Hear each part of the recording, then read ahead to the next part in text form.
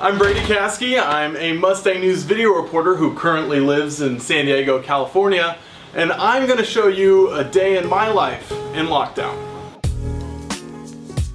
Alright, so, I start my day off by waking up at a crisp 11.30, just in time for lunch.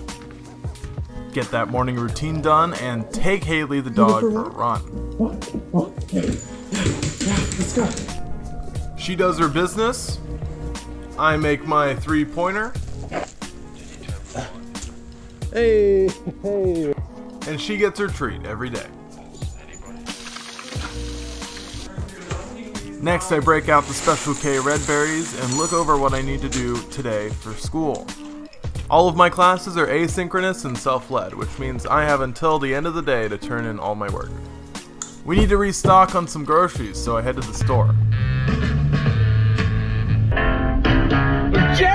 Jeremiah was a bullfrog.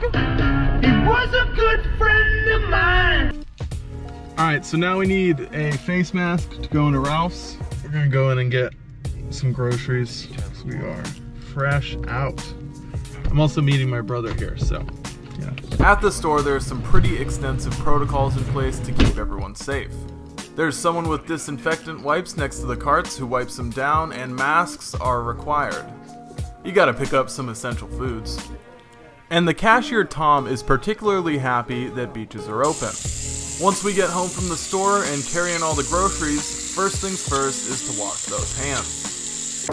Then I get to work on my online classwork for the day.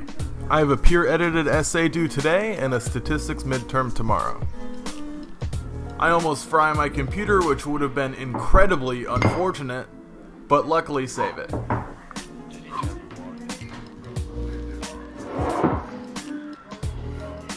After cranking out that essay for about an hour and a half, I grab a yerb to keep me going.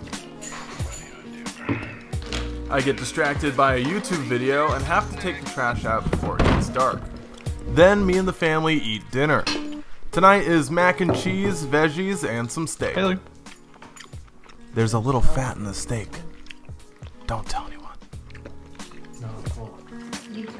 And then everyone's favorite part of the day comes. Closing all the tabs after you submit your homework. That's literally the best feeling in the world. After I'm done with everything for the day, I retire back to my room to watch some Netflix. And that is a day in my life in lockdown.